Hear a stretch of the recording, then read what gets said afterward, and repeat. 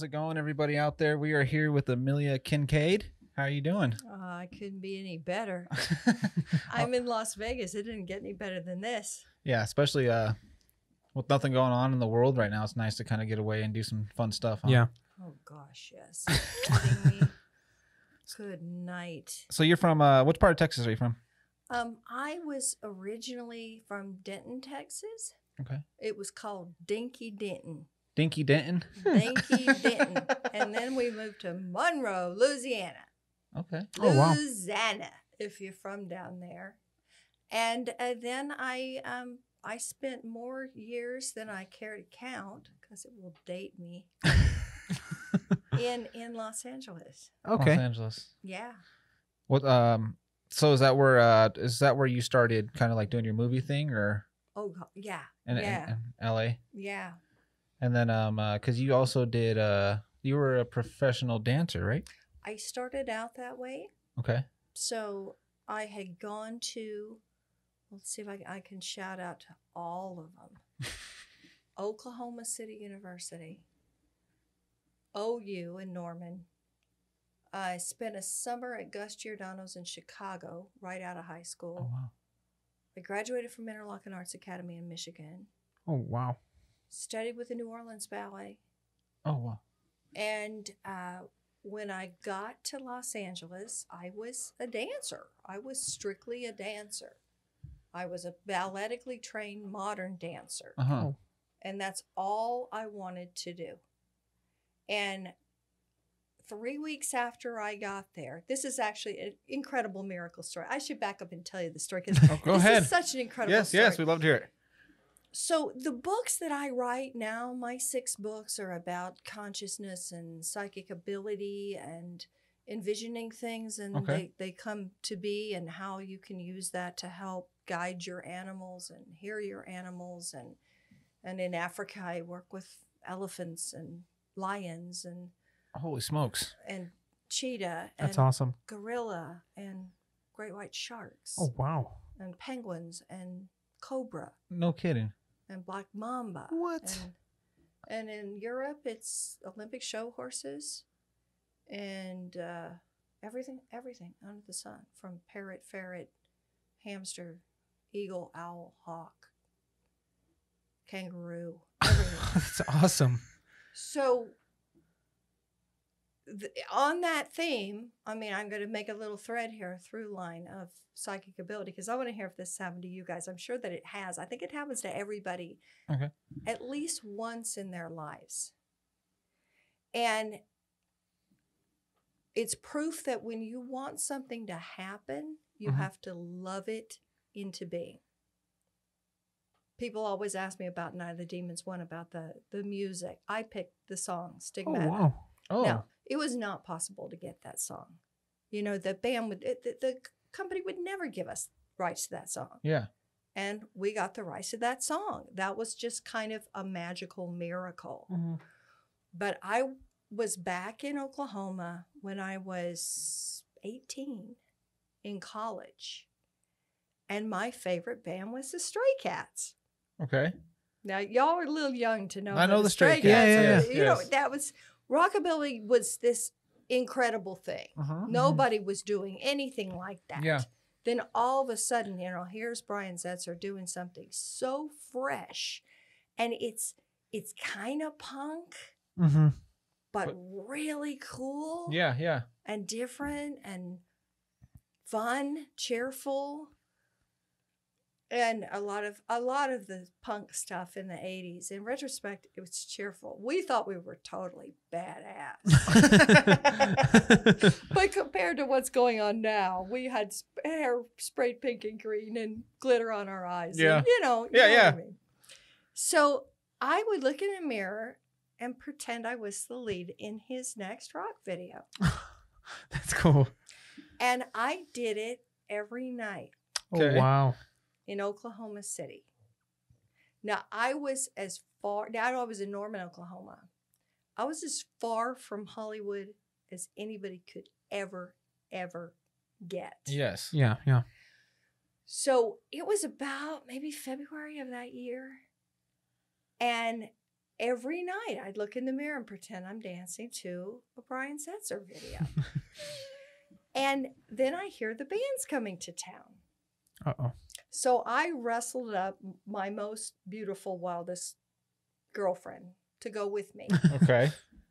we go to Oklahoma City, and this is one of those moments. This is the, the God is watching moments. hmm After the concert, we get in an elevator. Me, my beautiful friend, and Brian Setzer. Wow. No way. He walks into the elevator and looks at us and says, Where do you go to party around here? And we I, we didn't know. We said something. and, and then we didn't go because we thought, Oh, he's never going to show up. He's not really going to show up. It was in the paper the next day that he showed up. Oh, Oh, no. no. So I make my way to Hollywood, Uh-huh. which was not easy. It was no small affair. I had not a penny in my pocket. hmm What I did have in LA was my famous aunt who was on the Golden Girls, Okay. Rue McClanahan. Wow. So I'm staying with my Aunt Rue, who played Blanche on the Golden Girls. That's cool.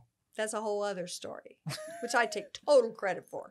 Shamelessly, I created that character for her one night. I take total credit. Of course, she forgot all about it. Once she sobered up, she forgot everything. But I got to LA. At that time, there was this newspaper called Drama Log. And this was before agents had gotten a hold of dancers. We were still pretty rogue, you know. Okay. We could do anything we wanted. So at this point in time, you already had all of your, like your your schooling and stuff. I I was trained as a dancer. Okay. and I saw that they were there was this audition. They Okay. said Rock Video wanted one girl. I took a taxi in the rain to this studio I've never been in my life. I got there late, pushed my way to the front with my elephant balls, which is probably why the elephants love me so much they go, "Oh my god, I've never seen elephant balls like that on a woman before," and I had no idea what band it was for. Okay. They narrowed it down from a hundred to five. I made the final cut. Oh, wow. Then they said, "We're going to call the person who gets it." And you still don't know what band it is. Don't know what band it is.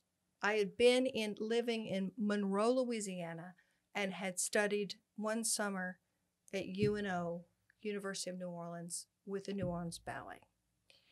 Taking the trolley in 100 degree weather Oh. and pouring rain. So I get a call. I got the job. I Oh. said, What band is it? They said, It's the Stray Cats. No oh, way. wow. They said, We're going to send you to New Orleans for a week. What? Wow. Now that I got a chill. I i- i- this this is proof that your mind is more powerful than you think. Yeah. Yes, I agree. When we stay absolutely focused on what we want, and this is what I teach with animals, you visualize what you do want, Mhm.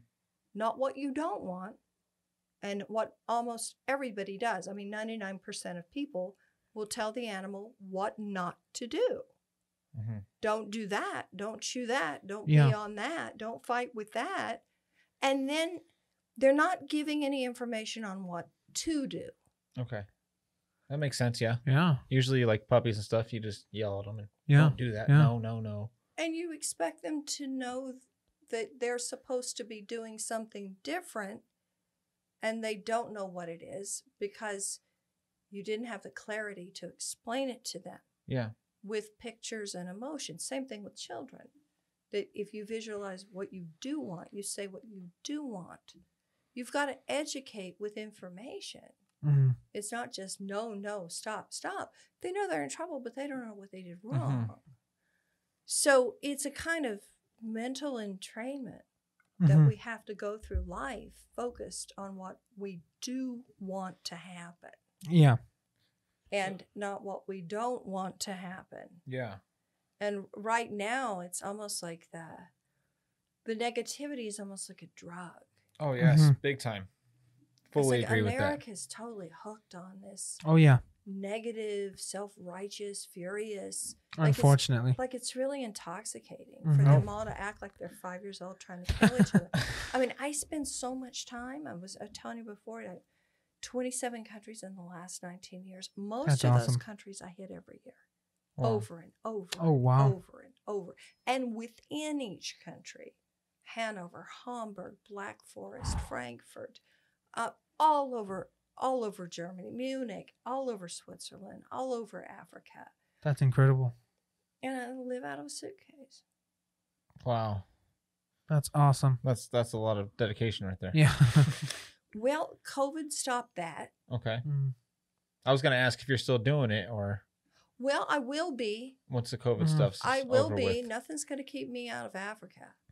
And and people, a lot of my my students come from everywhere. You know, Mhm. they come from New Zealand, Australia, Japan, South Korea, Oh, wow. Canada, all over the states, um, all over Europe, and they they want to go and and I think this is this is what the whole point is. We don't know how long we're going to be on this earth. Yeah. Do what you came to do. You Yeah. know, do what you came to do. Say what you came to say. Write what you came to write. You know, have the conversations. Film the things that you intended to accomplish. Yeah. I like that. That's kind of what we're trying to do. yeah. I guess that's what we're doing. Yeah, you Yeah. are. You I, are. I never. Yeah. yeah. We were just kind of. You I was kind of joking about that the, the the other day. I was like, you know, we're all just here. Let's just do what we can, and then we all die. And it was like a joke. Yeah. But I was like, you know, like you, you say that, and I'm like, well, that actually puts what I was joking about into perspective Yeah. perfectly. but it's true. yeah. that we're here for a reason. We- Yeah. If you if you stay on point, you realize your life is a mission of some sort. Mhm. Everyone's life is a, some sort of a mission that they're on, and mine has been about defending a- African animals, uh, tigers in Thailand, tigers all over the world. Wow. I'm very very into tiger rescue, elephants all over the world, gorilla. Uh, stopping can lion hunting. So, what was that always just like a passion of yours then? Was like the animals, or was it something from a kid, or like a childhood thing, or was it just kind of something you fell into once you started? It was something realizing I, you had a gift. I fell into. Okay. When did you when did you like when did you realize you like had this gift and when did you discover this? it was a, around the time of Night Um, of the Demons one. Can you pull that mic up just a little bit closer? Sorry. Oh, sure. You got you me can, you can move it. Go ahead and move it. Oh. Yeah, yeah, yeah. Okay. Yeah, you're not gonna. There you go. Okay. I was getting How's some. that? Is uh, that better? my line was getting faint over here. That's perfect. Thank you. Okay, that's good. You're good. Now something about around, around the time Night of the Demons. You're saying. Yeah. And whenever fans come up to me at these cons, and a lot of them have tattoos of me on their body, Uh huh. and it's growing. And there's no reason why it should be. You know, I don't have a TV show out there yet. Yes. Mhm. That's all I, all I can hint at is Oh. yet. Yes. Uh oh. Oh, okay. I am a writer and I'm working on something. So I, That's I've got something awesome. up my sleeve. That that's that's all I can say. you guys this heard it on the twelfth parsec. You did. First time anybody's ever really heard it. Oh, wow. awesome. That's cool. There you go. We're the first people. That's really exciting. I got something up my sleeve. But the dance sequence is what everybody talks about. And I was I was working magic. hmm I was allowing myself to be filmed while I was working magic. And there's this phenomenon in Africa with the shaman called shapeshifting Okay. okay. and um, in voodoo. And the voodoo priest or princess, and then the, all sorts of crazy things can happen. I mean, they can float in the air. I mean, all sorts of crazy things can happen. The result of it is that the whole community experiences a healing Okay. by means of the person who is most in touch with spirit. Okay. So the medicine man, the shaman, is the one who's going to bring the wisdom, hmm and they're going to bring that by means of uh, energetic exchange, you know. Yeah. And I think that's what people are feeling. That I, I, for a moment there, I turned into a black jaguar, slapping paws on the floor. And if, if you watch the dance, you'll see it. Yes, yes, yeah. And I was playing with the fire, Yes. and I was literally playing with the fire, and okay. I let that possession happen. And it's funny that the whole movie was about possession, Yeah. and I play the character that's warning everybody against it, saying, "No, no, don't fool with this." Yeah, yeah. And then I get famous for the one who was the most possessed. Yeah. But possession can be a positive thing. Okay. You know, in the full on Christian, born again Christian, in the full on, because I go to the churches in Africa with 600 screaming African people, you know, lying on their bellies, speaking in tongues, crying. I mean, having healings. Yeah. That it's it's possessed with the Holy Spirit. But if it's possessed with some sort of higher positive energy, then it's going to come through you and get channeled so that there's a group healing. Okay. And when we're working with animals, it might be we're in touch with the spirit of tiger. Okay. You know, what, it, what does that mean? Or eagle. Yeah. Hmm. So is that kind of so you just do you guys figure out what it means? Or is it kind of what it means to that individual? It's what it means to the individual. Okay. But but all of the animal kingdom, all of it, I I believe that they are not below us. Okay.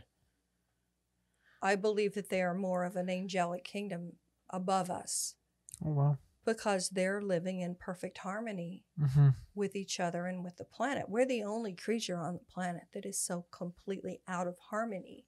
Mm-hmm. We're the only creature that's walking around saying, "Why are we here? No, No. it's true. Yeah. Definitely true. Yeah. Who are we? What is this all about?" Yeah. And also, how did this get so fucked up? Exactly. Yeah, yeah. Yeah. How did it get so fucked up? Mm-hmm. How did we end up where we are? That's what we were just talking about the other day. We were like, I told him, I was like, I mean, how can we? Everybody walks around on a three by five device, Yeah. and nobody even knows how to converse. Nobody knows how to, you know, carry on a conversation with each other anymore. When you uh when you say that like animals are in harmony, it makes sense because they all they know what they're doing. Their instincts, you know, natural instincts to them every day. They live they know they know how to live. Like, you know what I mean? Like we like you were saying, we walk around wondering what what we're doing here. They know what they're doing here. Animals know what they're doing here. Yeah, I mean, I've I've flown in northern Norway Mhm. twice to interview a woman who's the top wolf specialist, Oh wow. and we'll sit, and these wolves are wild, Mm-hmm. and they start coming out of the woods and gather around us. I mean, they're in an enclosure, but it's a vast enclosure. You're never going to have a wolf say, "Well, why am I here? Yeah, yeah. Who am I? Yeah. What what am I supposed to do? I mean, they know why they're there. Yeah. every animal knows who he is. Mhm. And the humans are the ones that are the most confused. Yeah. And the tragic thing about it, from my perspective, is that we're here to fix all the problems. We're the ones that are supposed to steward. Yeah. And we've completely lost our way. Yeah, definitely. We're the shepherds and we've lost our way. But we have this last chance. I think this is the last ditch opportunity Mm-hmm. to turn the things around. I agree with that. Yeah. And it won't be our generation, mine or yours. It'll be the kids. That's what. Hopefully, yes. Yeah. It, it is the kids. You think Oh no, they're coming. They're here. They're here, huh? Oh, they're here. I've I've got a a niece who's working on a science project. I think she was 13. Aunt Amelia, I've created a new kind of plastic that is biodegradable and also edible. So you can uh, drink your beverage and then eat the container. What? And then she goes on, you know, well, glucose had this many electron, and this had so, so many electrons, and this is why it didn't work with sucrose, and this is why it didn't work before. So we're counting on those kids.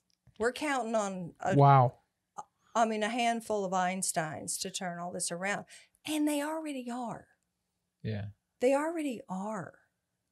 There's a- supposedly some kind of bacteria that can break down all the plastic in the ocean. Really? There's some new chemical reaction that can clean the ozone. Wow. I mean, you know, those that generation of little light workers, that's what we're counting on. Mm-hmm.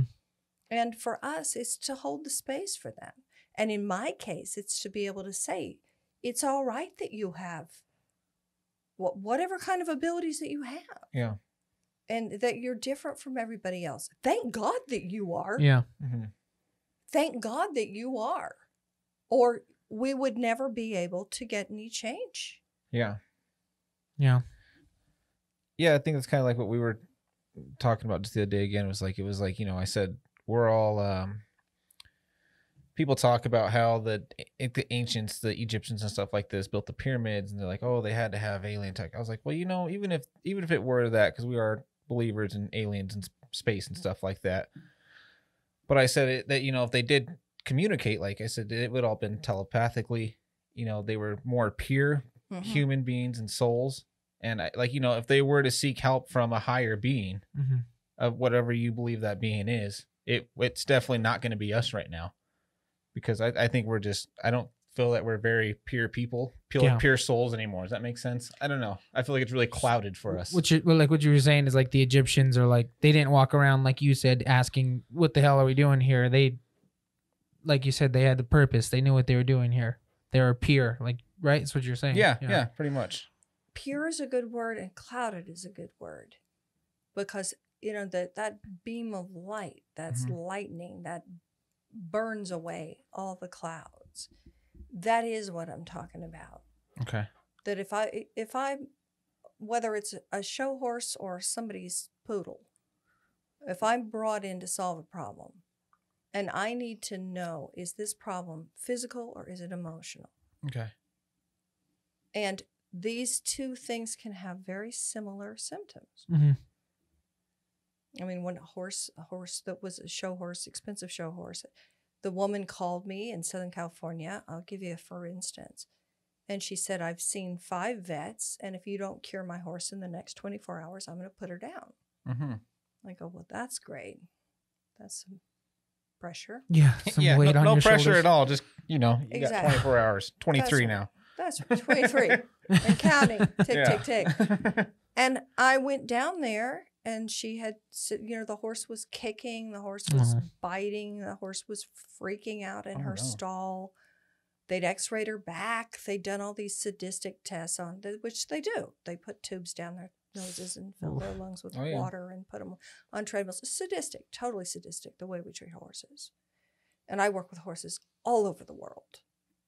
And Olympic show horses, and we won the Longines Global Championship Tour in Rome and Vienna. I got the gold for the richest men in the world.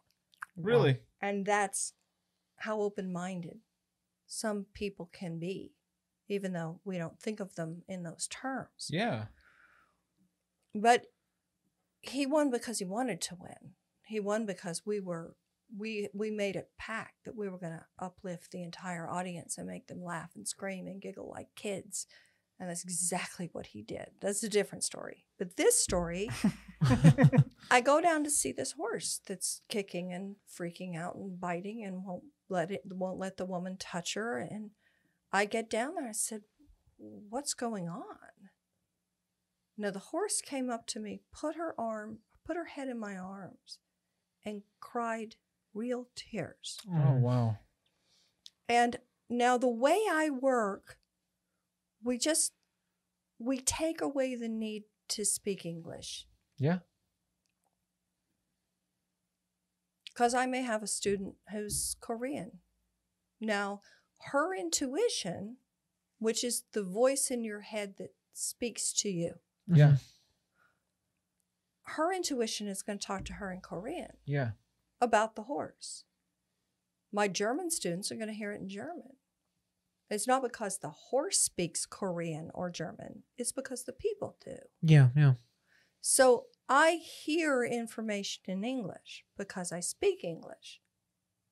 And I it's seeing pictures and feeling emotion and allowing yourself to enter another living being's energy field as if you were in a three dimensional video game. Mhm. You are that horse. And you start running programs. You start running, but that's how we ask questions. What do you love?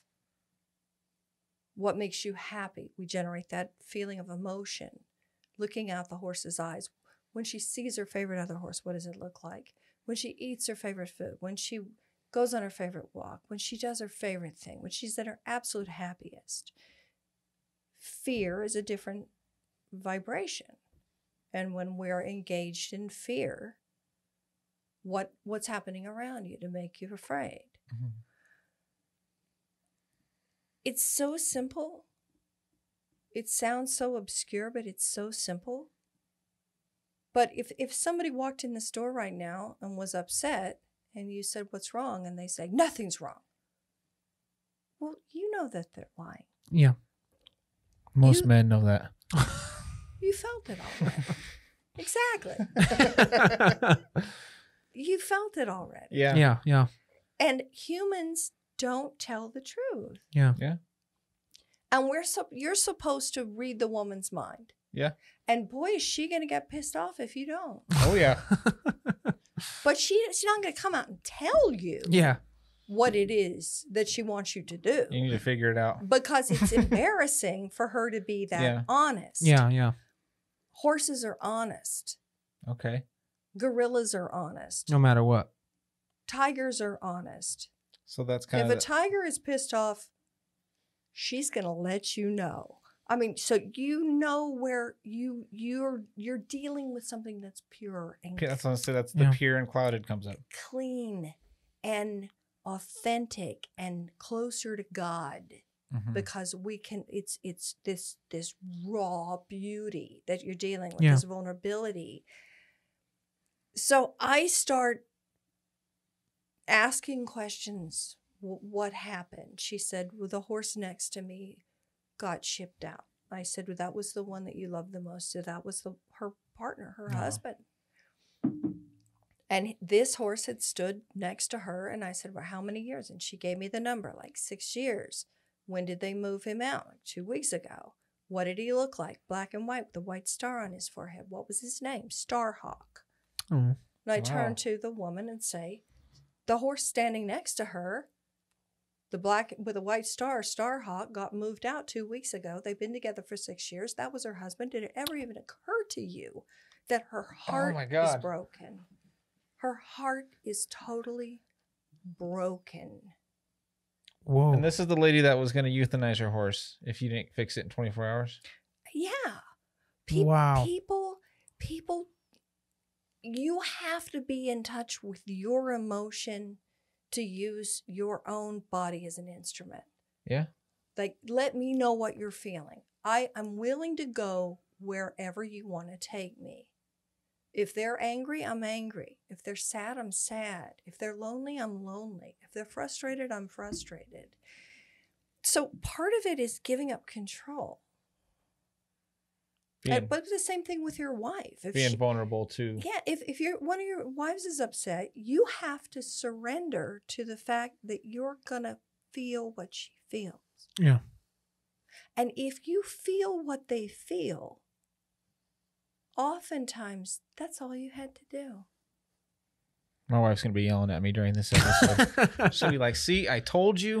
yeah, you don't even have to fix it. Yeah. You just have to be Understand. if Yeah. you're if you don't, you're not really together. Yeah.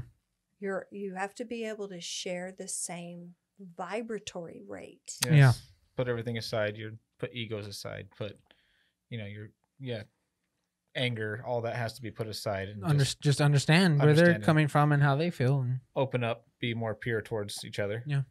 It's kind of what you're saying. Yes. yeah it, that, that's in goose language there. it's pretty good goose language so uh, when I'm, I'm just because I'm just really curious and it's so interesting to me. Yeah. This is, So when you I'm amazed. Yeah.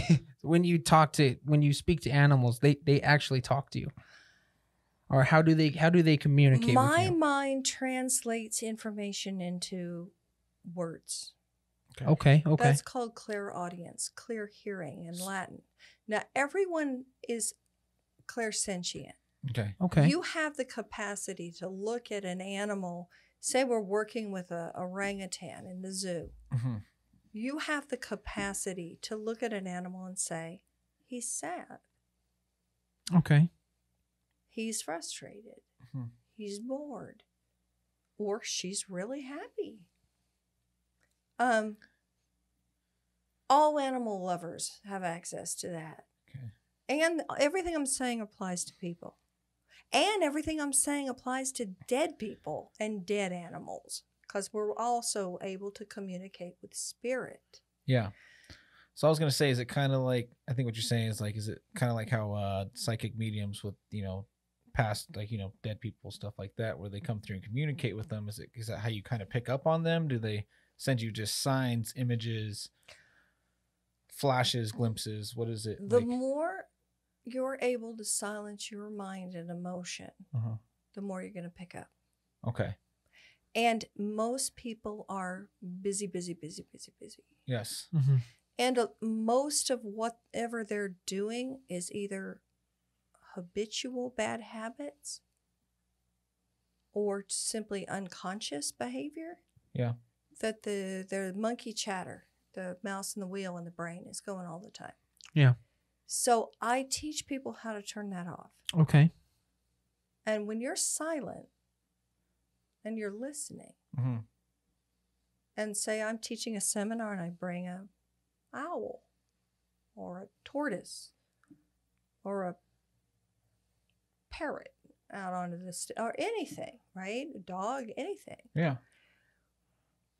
When you're quiet and you're focused and you're envisioning that you are them, experiencing what they think and feel, what does the world look like through their perspective? What do things taste like? What do things smell like? What does it feel like? hmm You'll find that you can pick up a million times more bits of information than you thought you could. Well, Everybody can. They're just taught not to look. So Mhm. with that, that would explain why they say kids and you know under a certain age are more like uh susceptible to seeing like you know monsters. So it's it's spirits and stuff like that. But they say that you know oh there's a girl standing in my doorway and it could be an actual spirit. But they say it just because they're more open to that. They haven't learned how to shut that part of after the a brain certain off yet. age, they kind of block it out. Exactly. I mean, in You're not you're not shutting that down to be like oh no that's just my imagination working. I need to focus on this. Yeah. I don't have somebody time for has that. to shut you down. Mhm. Yeah. And And I feel like that's the parents a lot of the time Mhm. saying, "Oh no, it's not that." You know what I mean? They don't allow them to to see it or continue to feel that. You know? 'Cause I s- or older siblings shame Mhm. it out of you Mhm. that it's I it's agree. you're not supposed to be able to see the spirit of your grandmother. You're not Yeah. supposed to be able to talk to the cat Yeah. or see the spirit of the flower or the trees. Now, I'm Cherokee and Choctaw. Okay. okay. So in Just like Tim McGraw. Oh, is it? um it's normal for us. If you couldn't talk to your horse, there's something seriously wrong with you. You need to know if the water is safe to drink. You need to know if the storm is coming. well, And when you're in touch with and you're listening to the universe around you, it just becomes part of your automated nervous system. It's common sense. hmm Now, the pineal gland is the part of the brain that we're associating, that's the third eye, with um, psychic ability hmm okay. and perception. Okay. Scientists tell us that atrophy is about the age of seven. And it's the same time where we learn written language and mathematics. So we're learning to read and write. We're using the other hemisphere of the brain. In anthropology, it's when a particular tribe now has a written language, then they're not communicating through dream time. the way the Aborigines did. Yeah. And all of the Native American and all of the indigenous tribes around the world were more telepathic before they were writing the words. Yeah. It changes the, the brain chemistry. And for children, it's before they can talk. I mean, if you got a two or one year old, you know that baby feels. Hmm. That baby thinks. That baby just can't use words yet to Mhm. formulate the ideas. And it's that much more frustrating. Imagine what your dog feels like. Yeah. Wow. Wow. That's that's that's crazy. yeah, because I've been seeing like stuff online uh more recently, like my wife watching videos and stuff like that. Uh, dogs, there people are making like these like things on the ground for them, and they're like buttons on them, and like they're teaching their dogs to like walk up and hit walk when they want to go for a walk or food, water. Like they're these dogs are actually communicating with obviously a little more dumbed down than what you do, but they're communicating with their owner with these buttons. And I think that's insane. Like it's so cool to me that these dogs are doing that. Like they're able to I communicate hadn't like heard that. about that. yeah. That is cool. Yeah. Yeah. That is cool. I I worked on the sly with Coco the gorilla, who could speak Deaf American Sign Language. Oh wow. So we got to experiment if she could actually use signs Mhm. To let Dr. Patterson, her keeper, know that I had been talking to her. And she could. Really? Wow. and she could yeah and one time i'm the funniest the funniest of it especially for the for the night of the demons lovers because they know about my dancing one day i was i took a jazz class so i was in dance class Mhm. in la and penny emailed me that night and she said what were you doing at and it was exactly the same time i said i was i was taking a jazz dance class and she said coco went into this crazy dance Really? she started dancing uncontrollably. What? So she was reacting to me. So we were in communion. Now, we already are yeah.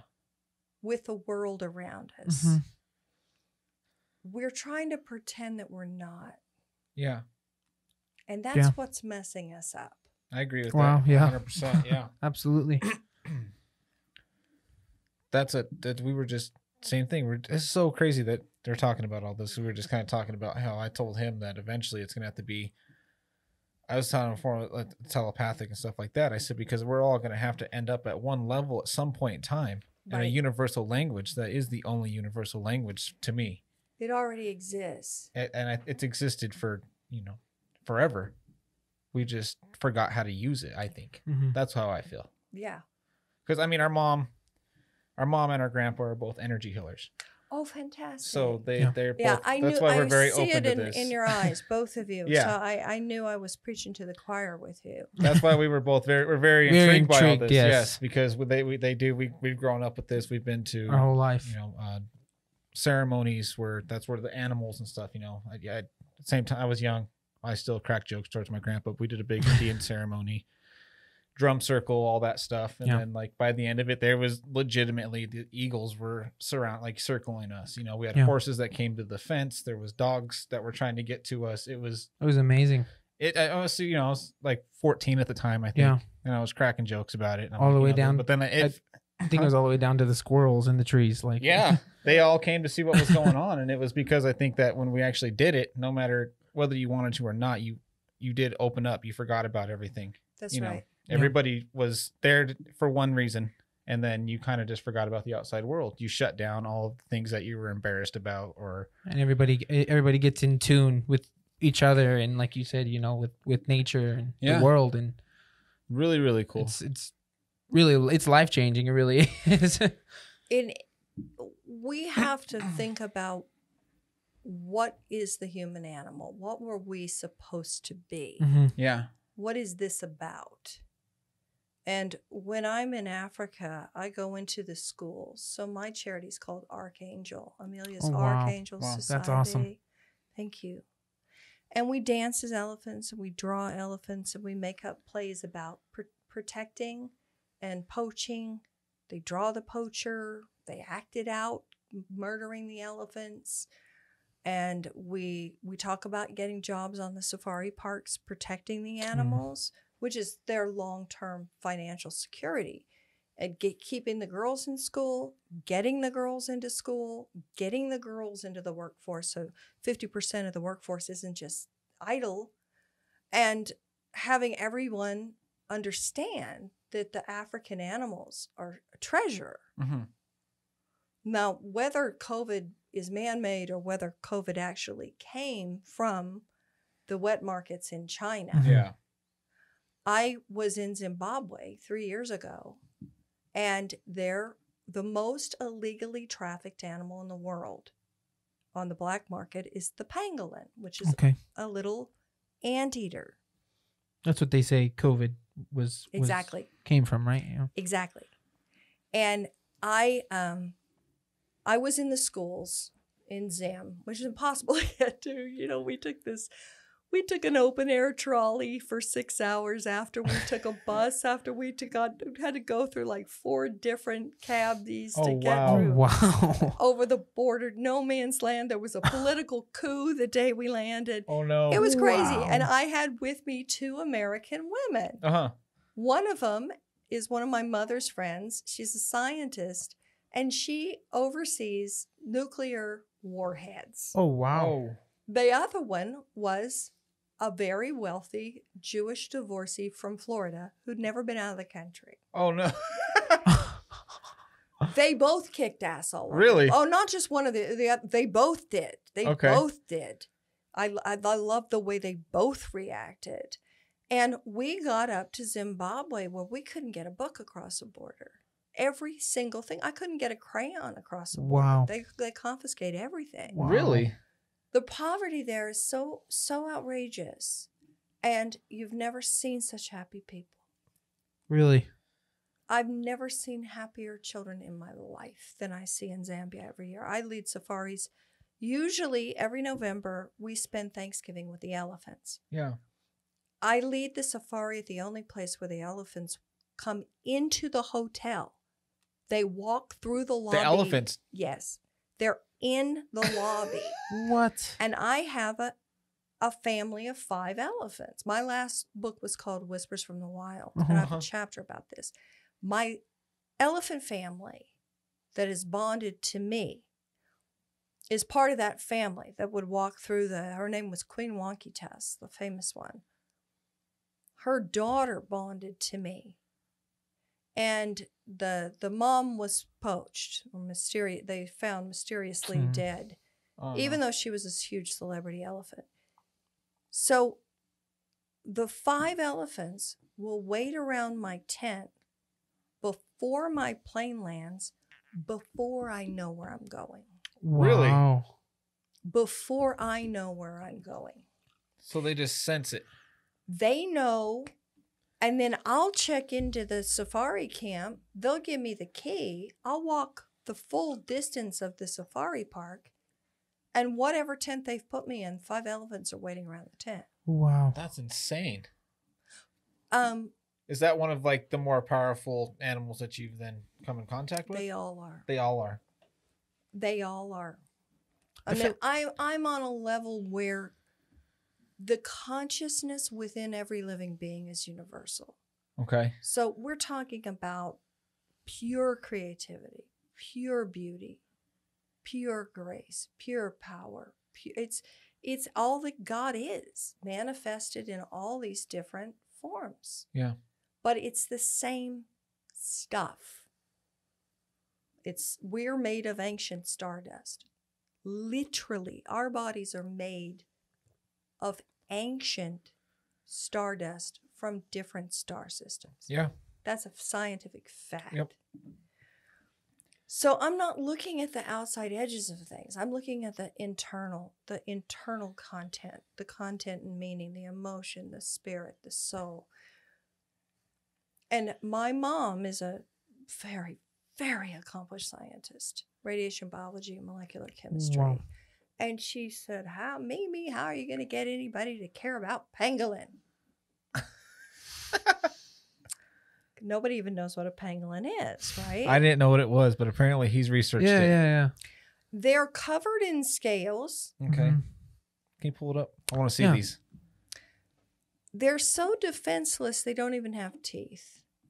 They have cartilage in their bellies, and they'll eat the ants, and the cartilage in their tummies chews up. Do these come from like uh where they where they, they come from all over the world? They're native to Zimbabwe. Okay. They're native to this particular part of Africa. And do they live in like caves and stuff then if they're so fragile or No. no? But when they're scared, they roll up into a ball, and the poacher picks them up and walks off. With Like them.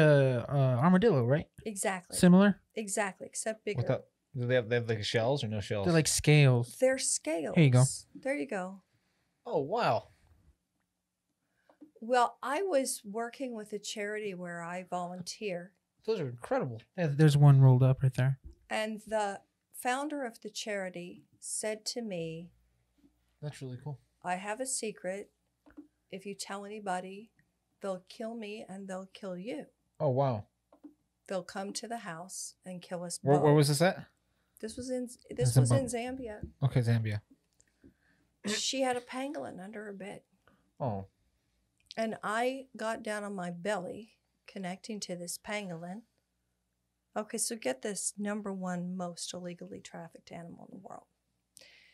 Some Chinese like to make soup out of them. Mhm. Oh. That's They're where a they had them in the in the wet market. Uh-huh. That's how that's why they end up in the wet market. Yeah. In the beginning, when they first started press about COVID, it was on um, the Australian news, like the, their version of 2020, that the virus was identical in, or like 98% identical in pangolin.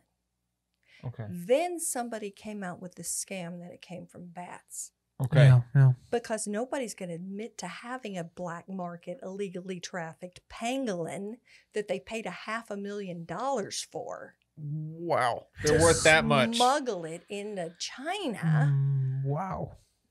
And whether that's true or not, um, the the pangolin got even.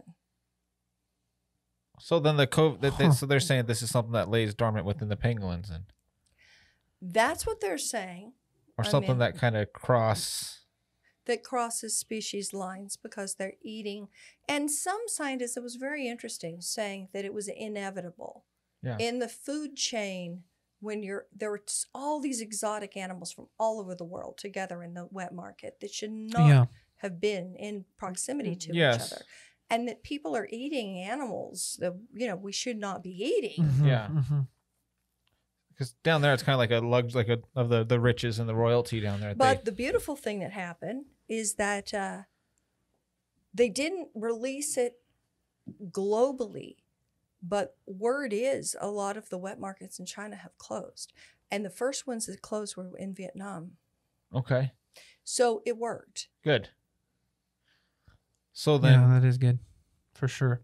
that so that could go deeper on that as to to get some of these things shut down, maybe. Somebody's sorry, I, I, got conspiracy somebody's started rolling there. I'm sorry. start the ball rolling. yeah. Somebody's got to start the ball rolling. Okay. Um, my pangolin campaign might have been a drop in the bucket from what the world can see, Okay. but in the energetic world, it was big. Okay.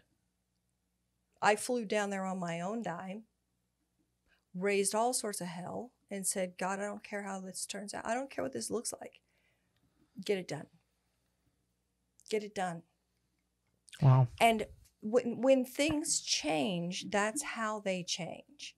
That you love something so much that you'll you'll die for them. You'll do anything for them. That's Yeah. how I am with my tigers and my elephants.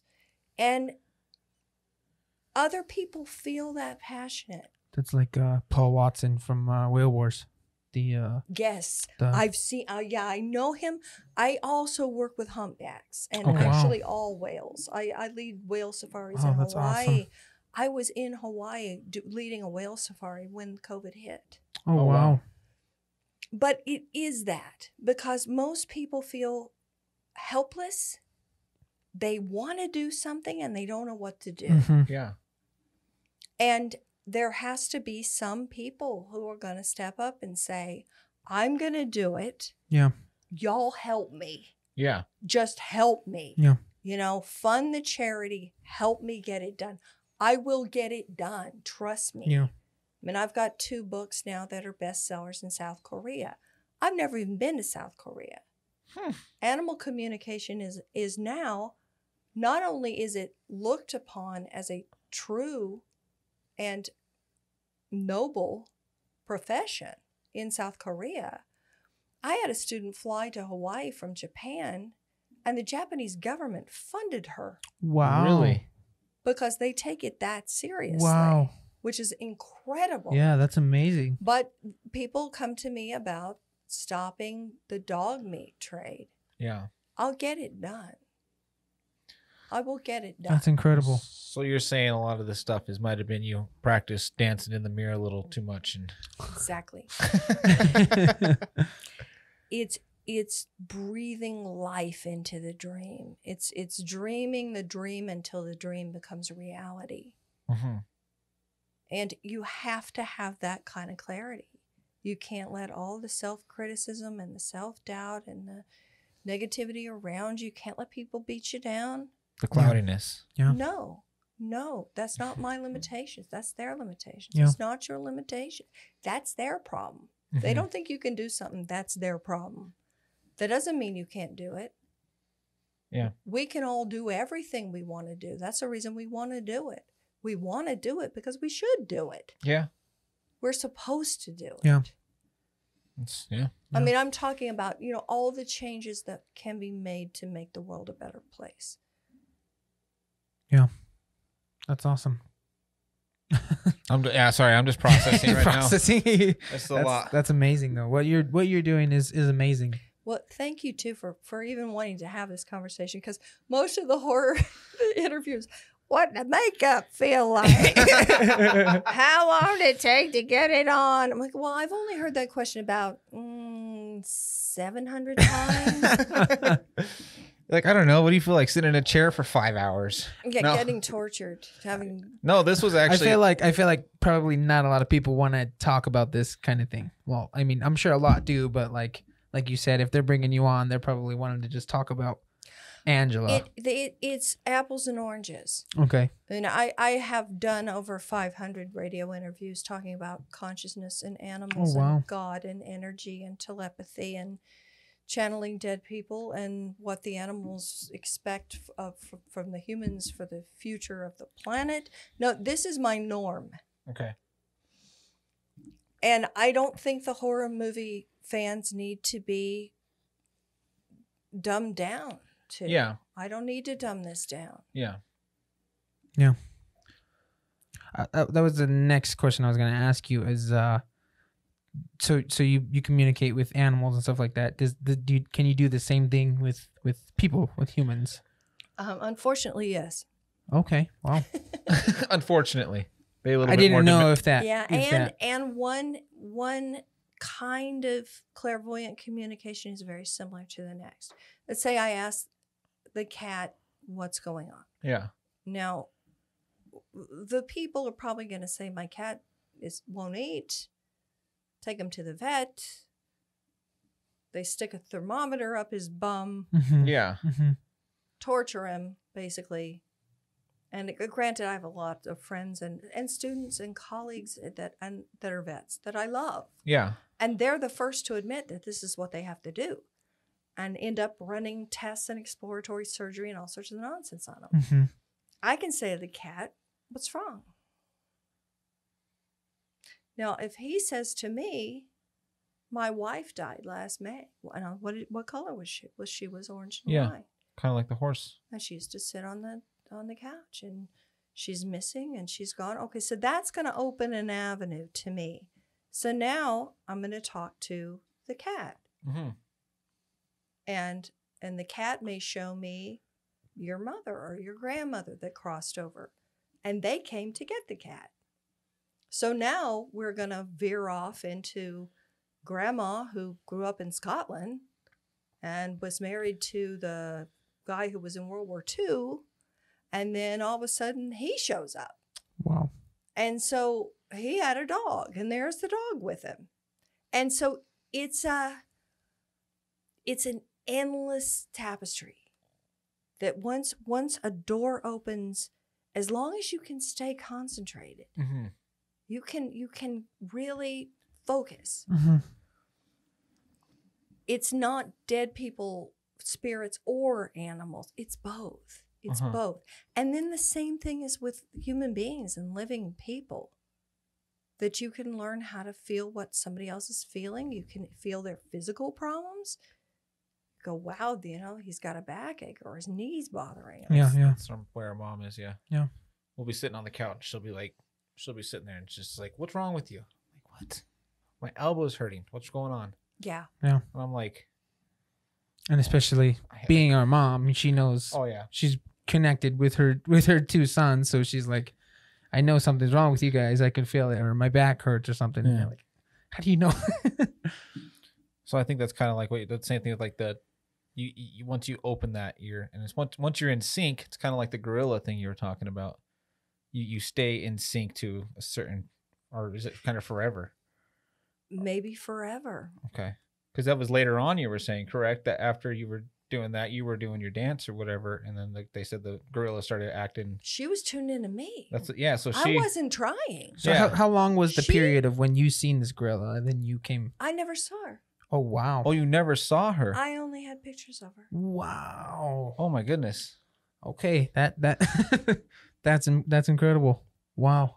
So you got that in sync with uh I work with photographs from all over the world because Oh, people wow. will Okay. email their pictures. So sometimes you don't e- you don't so you don't even always see them then. Like in person. No, I, I'd say it- the I- norm now is that I don't see them in person. Mhm. I mean, right now there's uh, a new client who's a British rock star, Okay. and she's having problems with her dog. So she's going to email me pictures of the dogs, Oh, and I tune in through the eyes. that's so cool. Sorry, I'm just That's So- incredible. the energy field is it it exists Mhm. independently of the body all right so let's say i'm talking to you and you're three feet from me Mhm. well let's say that you're in los angeles or you're 3000 miles from me Mhm. What difference does that make Yeah, yeah. the distance doesn't make any difference so then let's say we're going to talk to your grandfather who's in heaven Mhm. the distance doesn't make any difference. And the physical body is, it's not even the focal point for the communication.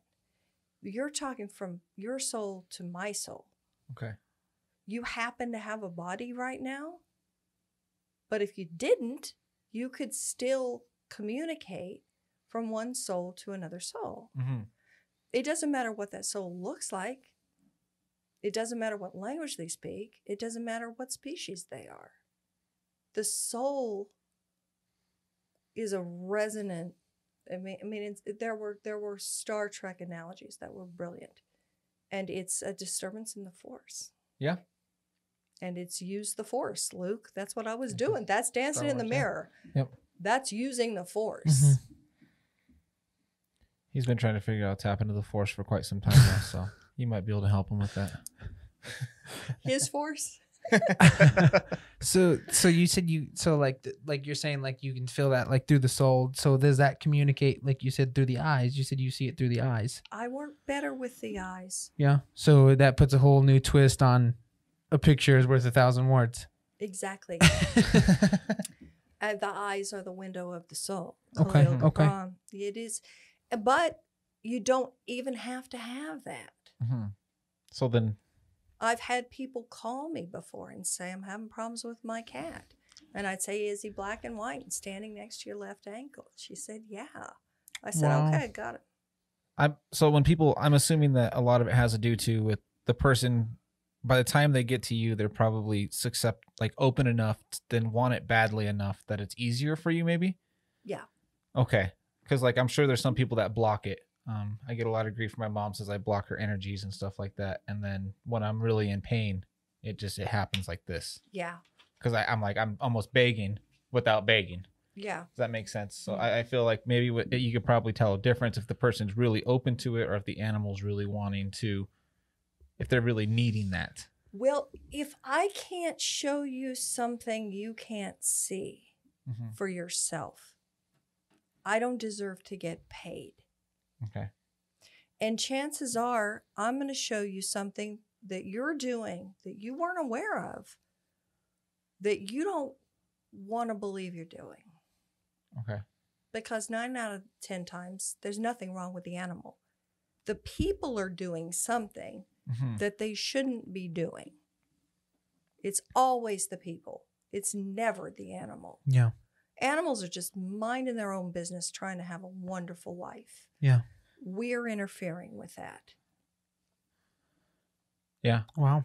I feel like I really understood that. I, I used to have a lot of reptiles. Oh, I love And- reptiles. I love them. There was times where it would be, um, I would know by the way that like as soon as I I could almost like feel her energy. One of my it was my boa constrictor is the one I had this Oh, weird love- communication with. I love them. And I knew walking up to the tank, if I, I would open the cage, as soon as I put my hand in, I could just tell by the way that she looked at me, I guess you could say, which is, I guess people usually say you can't look at a snake, but I would know not to touch her. And Yeah. if there was a couple of times where I was like in a hurry or something and I had to feed her real quick, so I just reach in and grab her and I got bit three times by her. And every time it wasn't her fault, I would take blame. I was like, you know, I she told me that she I knew I shouldn't have done that. She was giving me all the You all the being energies not to. disrespectful. Yes. And I knew I knew many times where I was like, I, I don't I shouldn't mess with her right now. She doesn't want to be touched. Yeah. But it was it was weird. It's kind of like what you're saying. Is I was I was feeling it, like almost like feeling like leave me alone. But I guess I just didn't really know how to take that, and you're kind of just putting all that into perspective for me, I guess. Yeah. And every time I did, I got bit. I got bit by her three times, and all three times I said it's not her fault. You deserved it. Yeah, she she didn't want to be touched, and I, you know, I didn't listen. So, I guess I, I guess I kind of understand it. Yeah. But that was one of the only animals, and then a, another dog I had that passed, a Great Dane, and Oh, I love Great Danes. I have a Great Dane. I do too. heaven, We just got a new pup. Oh, you do? Yeah, oh gosh. he's uh, he's three months. We just got him. All right, I think I'm gonna leave it up to you two to put together my next seminar. We Oh. should do something here in Vegas. Oh, and that would have be your awesome. Great Dane puppy. I I'm a big Great Dane lover. we have I had a two deaf Danes, and uh, one of them had every illness you could imagine, and he passed away. Um, and when he did, his brother was Astro. He bonded with me like you couldn't believe. Ah, and I that dog knew I taught him sign language. Um, yeah. everything he did, I, I was all by sign to teach him to go outside, to sit, to he would walk by me, he wouldn't walk in front of me, everything. It was crazy. And that dog, that's the one dog I still miss Mm-hmm. every He's a day. good boy. Yeah, he was my boy. But Do you think maybe the living dog was channeling the one in heaven? Did you ever feel like that other spirit was present? oh yeah, definitely. Yeah, he was. He was. He was. Uh, that was because it was Scooby and Astro when his when, it, when his brother passed. Yeah, he. I think it was kind of like he was really protective over his brother, and then like it was almost like I had to fill that void that he was missing. And I, I guess I understood that is what you were just kind of talking about. And that was when all of a sudden, because he would not listen, this dog was a pain in the butt. And once that happened, and we got that bond, and he did anything I needed him to do. hmm He was an amazing Yeah, dog. Amazing dog. you know, but yeah. But that bond has to exist. I mean, it's also it's a whole different perspective that I'm taking. So if people, I'll love the dog if they do what I want them to do. That's Uh-huh. what most people are thinking. Make Yeah. the animal do what I want them to do. Why won't he listen? The question is not why won't he listen to you? The question is why won't you listen to him? And when you do listen and you are present with all your love, Mm-hmm. and you care and you acknowledge that this is an honor Yeah. to have this cat in your house or to have this horse in your life or to have this dog in your life you don't ever rescue them they rescue you Mm-hmm. Yeah. Yeah. then it's a whole different paradigm. I'm coming at them knowing that they are my teacher Okay. and that I'm just the translator between what the animal wants and needs and what the human is capable of hearing. Mm-hmm. And I'll try to get as much of that across as I can without making the person too defensive. Yeah. And you're right. The more the person is just head over heels in love with their animal, the more they're going to be able to get it. Oh, your wife just got a horse Mm-hmm. that was that was abused previously, Yeah. and w- when you guys got there, right? She the horse walked right up to her and The lady Put said her head on her, the lady right? said she's not hand friendly. She's not this. She's not that. And my wife loves animals. She loves horses. And uh, she walked up to it, and the horse, the lady's like, she won't even come. She's like, goes up. She's like, Casper, she's not even coming to the gate. She's like, oh, you ornery, blah, blah, blah. So my wife walks up, and the horse runs to the gate and just puts her head into my wife's shoulder. Please, his head. please take me out Yeah. of here. Right? Get me Yeah, get yeah. me away from this woman. Get me out of here. This was just yesterday. Yeah yeah. and, and even in that second, what we know is that the previous owner, and I'm, she won't hear this because she probably is not listening to your podcast. Oh, no, God, no. Um, she has an awful voice. We know that. And she insults the horses. Okay.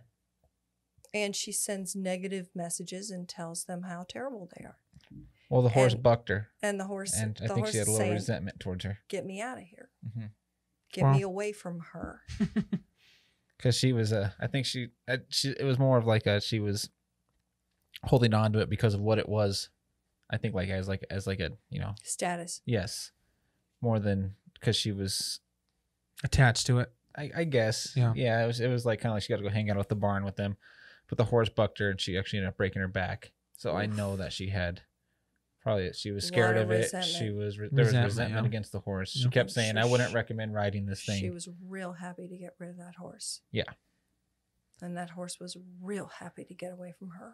yeah Yeah.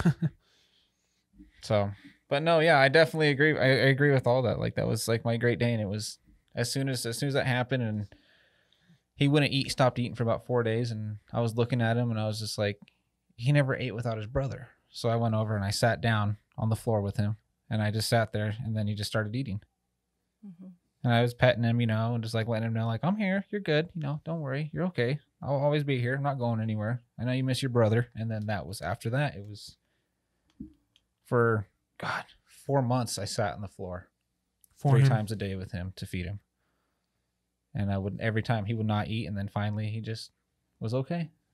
felt So- comfortable enough. Yeah. Yeah. Well, you're doing a lot of things unconsciously and you're doing them right. One of them is that eating is uh, social behavior with dogs Okay. and say with cats. Mhm. In in the wild, cats make a kill. The lions eat together. Humans will put down a bowl of gross, wet mush and walk off. Yeah. And the cat's supposed to stand there and, and eat it. And then the woman will say, Oh, he's picky, blah, he won't eat his food, blah, blah, blah. No. I mean, I, I'm staying at the home of a student right now, and the cat would need to be offered many things and would walk away from it. And I, I pet him while he eats. And I said, He likes to be pet while he eats. Mhm. He'll eat anything as long as you're petting him Yeah. because it's it's social behavior. I had an old Maine Coon. Two of my books, I talk about Mr. Jones. When every vet in LA said that he wasn't going to make it through the week, I put him on raw steak, little tidbits of raw steak and raw deep water Who's fish. Mr. Jones. Mr. Jones was my Maine Coon, my cat, Oh, okay. Okay, Okay. okay. my cat. Okay. But I realized that he wouldn't eat until he saw me put a fork in the food and put the food in my mouth. I would put him on the same level as me. Okay. The minute he saw me eat, he would eat. Hmm. He lived another three and a half years. Really? Now you got on the same level as the dog. You gave the information. I understand that you're grieving Yeah. because you like to eat with your brother. hmm Because he's gone, I'm going to take his place. Yeah. And as long as you're eating, I'm going to be right here with you while Wow. you eat. Now, he doesn't have to eat alone. That was a yeah. With COVID, I've, I'm eating enough tacos in my car, in, in the parking lot. To, to, you know what I mean? yeah. I mean, you probably do it too. I mean, you end up going through a drive through and then you pull over and you eat alone in the Yeah. parking Not lot. allowed in the restaurant. Yeah. Yeah. It's not Man, my this is- first choice. That got a, that got heavy. Everybody out there right now is like, "Yeah, trust me, we're all on the same page right now. this is this is awesome. My This mind is blown at this moment. This and is like amazing.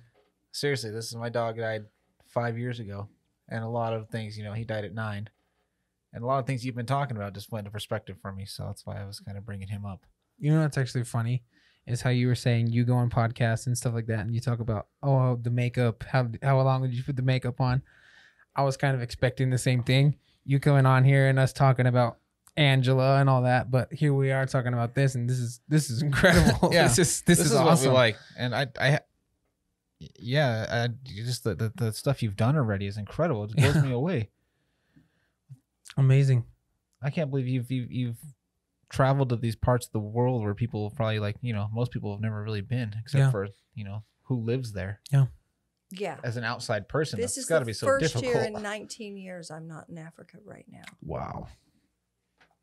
Wow.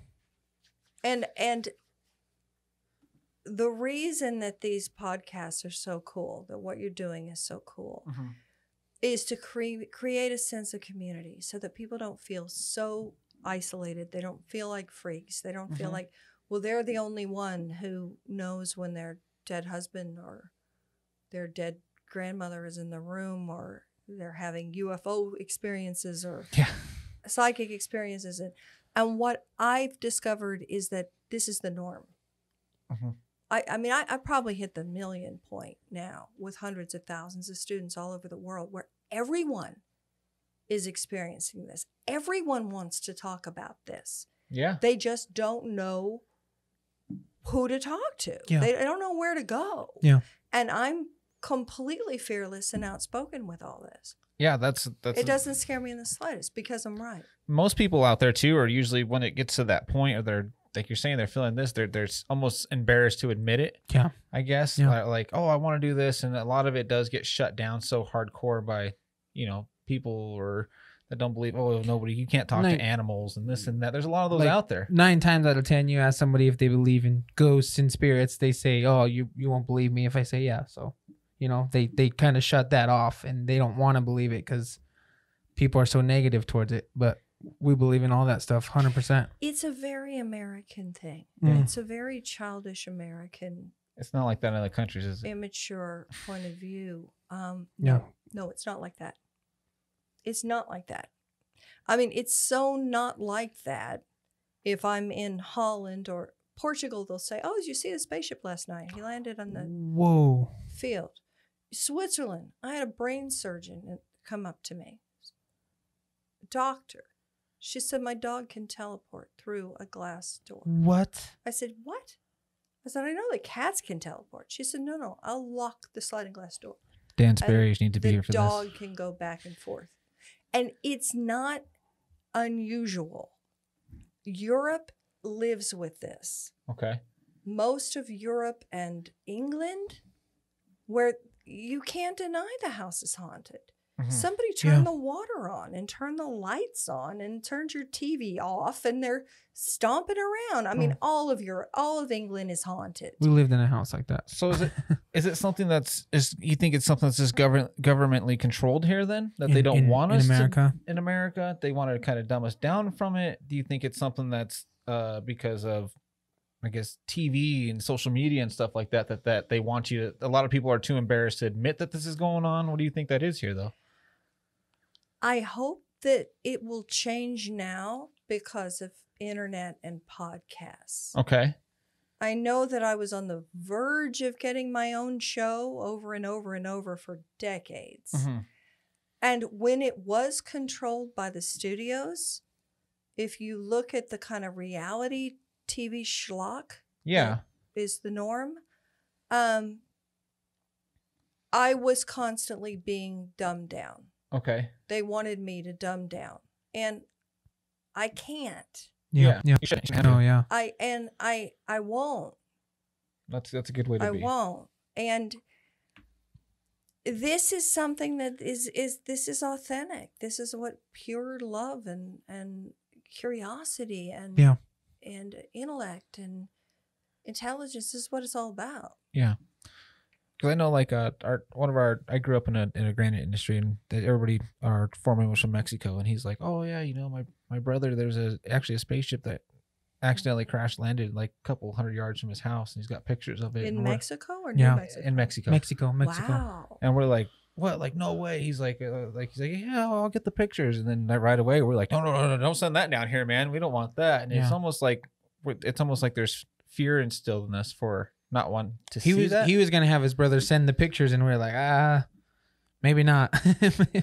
Why? I, I mean, it's just at the time, I don't know. It just it seems like it, if something like that got into somebody's hands, then you're gonna get in Oh, trouble. Oh, yeah, they, you, they're going to come after you. Oh, yeah. So that's why I was saying, do you think maybe it's just governed here too much? Well, the question I ask about the whole Roswell thing, when it's it's obvious that two two Greys were in a two man pod uh huh. taking samples and doing experiments and doing their work as they do. The question is not did the aliens exist? The question is what happened to their ship. yeah. Yeah. My Yeah. question is what happened to the little gray ship? And that one of them would die and one of them was almost burned to death. What went wrong? That's the question. Yeah. No one ever talks about that. I think it was Bob Lazar. Even he's the one that said that when they found this, like that when he was working on a spaceship. You know, Bob Lazar is correct. hmm So he was saying that that, but he's like, this was from.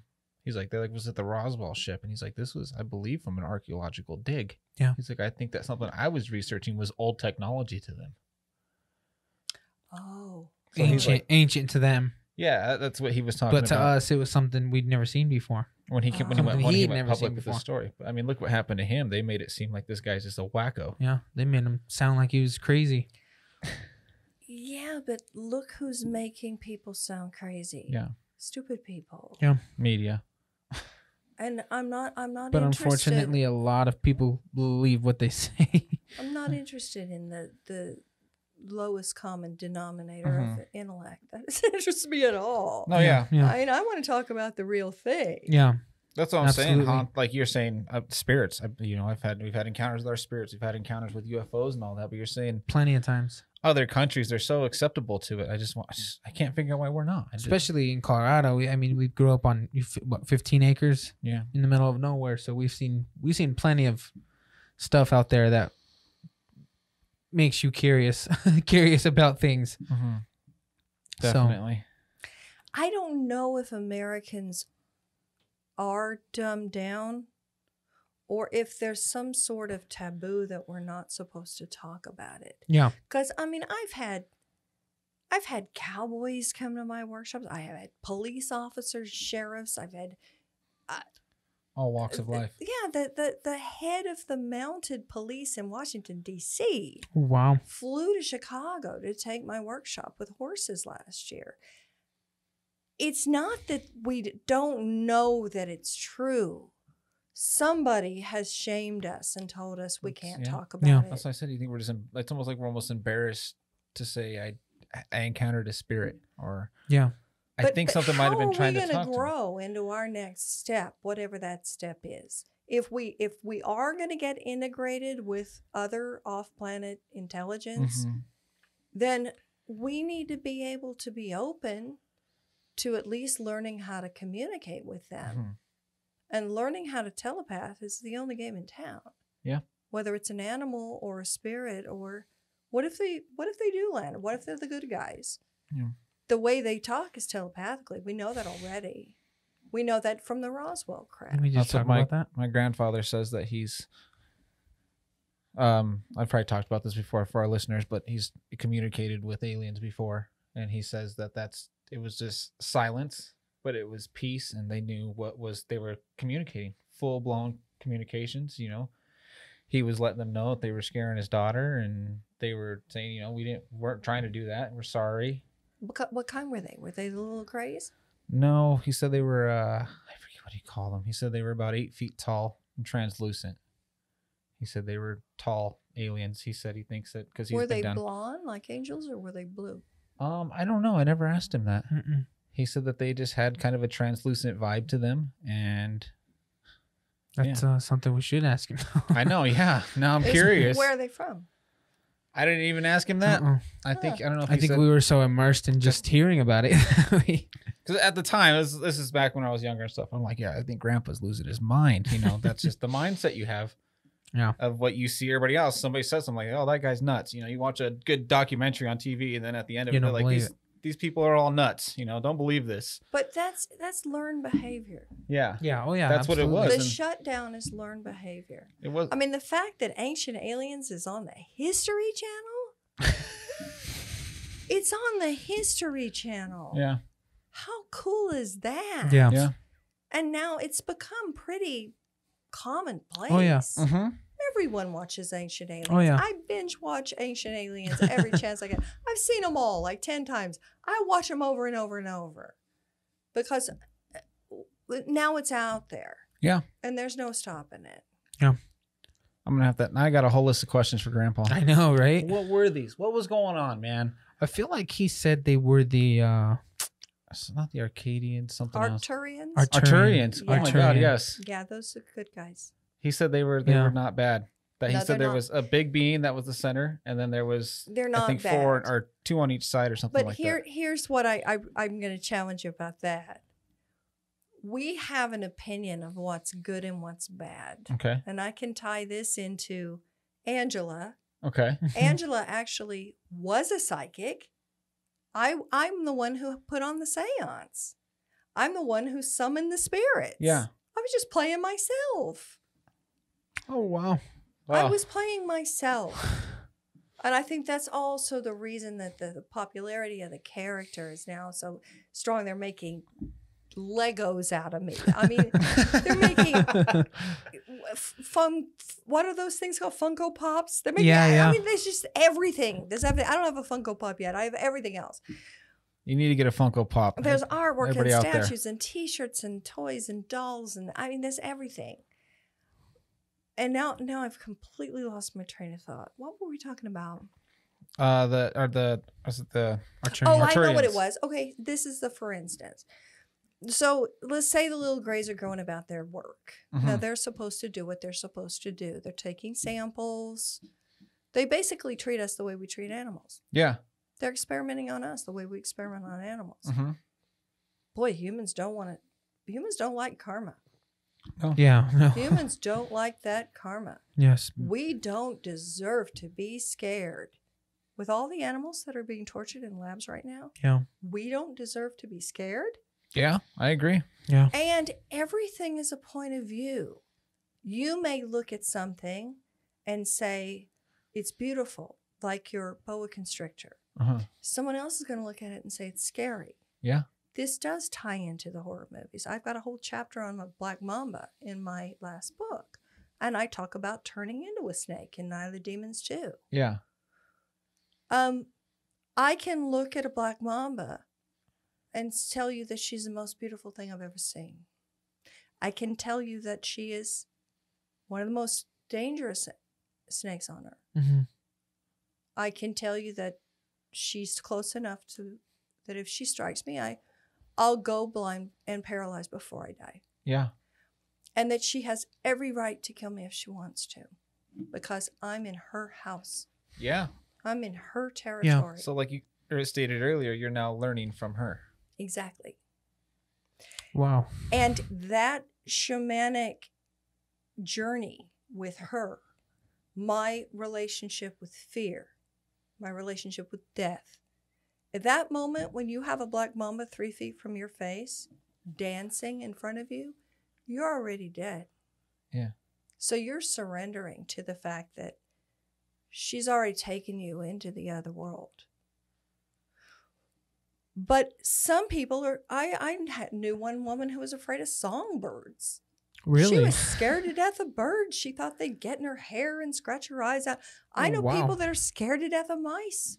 Yeah. yeah. Yeah. Oh, there's um, it's the end of the world. I know people that are scared of spiders. I'm terrified of spiders. And deathly. Him and my wife both.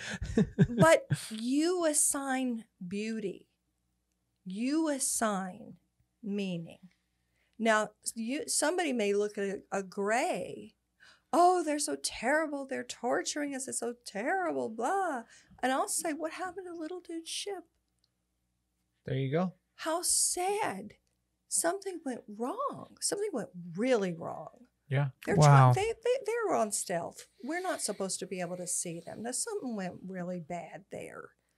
And my heart goes out to that little gray. Mm-hmm. or let's say that there's some other alien like an animal because i work with great white sharks. Oh they're so scary. Now that's some bullshit humans made up Agree. Wow. you're more likely to have a tree fall on you and kill you than you are to get killed by a great white shark Really? That's a fact. If you see them as more than just dangerous, I'm seeing them as beautiful and loving and playful, and they love their families and they live in. I, I saw a world that no one else can see Mhm. of what sharks are really like, what they're really all about. And it's the same thing with the aliens. Just we we've decided they're ugly and we're scared of them. Yeah. Well, well whose problem is that? It's not their it, it's not their problem. And we, we better get over it because it is very likely that in this lifetime we're going to have full disclosure. We're going to have contact That's what I'm hoping and for. they don't Yeah. look like us. Yeah. And, and humans need to get over it. That's Yeah, what I yeah. told him. I said, he's like, oh, this. That. I said, you know, there. I said, it's not a matter of if it or if it's just when. Yeah. And I said that I think the biggest problem is, is I said a lot of people do say like, oh, you know, well, if they're not, if they're real, then why can't we see them? This and that. And I'm like, well, I mean, you got to ask yourself the question: if if there was one standing in front of you, what would you do? How would you accept it? Yeah. Because I don't think I think that 80% of the population wouldn't know how to handle that. I No. mean, they they can't even handle the coronavirus for crying out loud. Look what that put us into. They can't even handle a mouse in their kitchen. Exactly. exactly. cabinet. Exactly. so how They can you can't handle, handle a spider in their bathtub. how can you handle a nine foot translucent being Yeah. that is talking to you without using words? Yeah. I, I don't think an, a lot of I don't think 80 to 90 percent of the population would know how to handle it. Not in America, anyways. And I feel like movies had a lot to do with that, Of, of putting de- the fear into people. Yeah. Yeah, Yeah. See, we demonize the animals Yeah, I think and so. we demonize the aliens. And there, there is also the possibility that they may be hostile and have their own agenda. That can happen too. Yeah. Oh yeah. Yeah. Just like just like humans. Same thing. Exactly. We we didn't have any problem polluting and Yeah. ripping this planet to shreds and decimating the animals. But boy, we have a problem when they want to do that to us. Yeah. And I it, it's too much of a double standard, isn't Mhm. it? Absolutely. Yeah. And they may want, they may need things for their atmosphere. They may need to mine the gold. They may need some of our genetics. They need DNA. They're trying to create a new species. Maybe they're going to upgrade the human being. Yeah. God willing, they will upgrade the human being. Yeah. Yeah. I think we desperately need an upgrade. Yeah. They need to desperately upgrade us before machines take over. Yes. Before machines are the ones trying to upgrade. AI is upgrade us. Terminator. Um, I'm gonna use the restroom real quick. okay. You guys can keep talking if you want. Yeah, yeah, yeah. if not, we will pause. But just let me know. I'll be right back. but no, yeah, the, this has been this has been amazing. Honestly, this has been this has been incredible. Definitely good time. Well, fantastic. Well, I'll I'll plug a few plugs while I can because Okay. I, I, you said this is going to go out this coming week. So yeah, yeah, yeah. tomorrow I'm doing an event here in Vegas because it's one of the only places that's open. Yeah. Okay. And by the time people hear this, it'll be too late for my nightmare toys. But Mhm. the following Saturday, I'll be in Granbury, Texas, and I'm signing books. So I wrote six books. Uh, one is a children's novel, Okay. Oh wow. Awesome. And most of them are about communicating with animals. I mean, they all are, one way or another. hmm and psychic communication and connecting to something that's strong and beautiful and powerful and loving and comforting and it's is nature Yeah. It's God and it's nature. Mm-hmm. I like to call it God slash Mother Nature Mm-hmm. because it's just one creator. Yeah. all yeah. of her his creations. Um, I've got an online school, so Okay. that's on. It's called Language and Miracles Institute. If people go to languageandmiraclesinstitute.com, I'll Language have, of miracles. yeah, Okay. languageofmiraclesinstitute.com. I've got upcoming webinars. There's an ongoing series called the Devotional Program. Okay. Students from all over the world, all over the world. You get 52 audio lessons Oh wow. and 365 texts to your phone, Wow, that's amazing. affirmations for you and your animal, another 365 for you and your soul. That's incredible. So I'm trying to create content that you can watch at your leisure Mm-hmm. whenever you feel like it Mm-hmm. because everyone's on a different time Yeah, frame yeah, around absolutely. the world. Or schedule or And then when we have the webinars, I'll start a new series. I'll do a Christmas show. So okay. anybody that's going to log on to Language and Miracles Institute, you're going to see free kit. Okay. That first lesson's called Bamboo. If they click on that, they're going to hear the first lesson. If they like it, they can get in the devotional program. I just slashed 400 bucks off it. So it's it's really really reasonably priced. Mm-hmm. And the Christmas webinar will be prayers Okay. for animals and for people Okay. that need prayers. People can you can send in pictures, and I'll be praying for y- your animals and your people that need help, and for the world at large. Awesome. And then in January, I'll start a new webinar series. So Okay. In that webinar, I'll show a picture of an animal, then I'll teach you how to read that animal. Oh And wow. You'll be on with my students in Switzerland and Oh, England. that's and cool.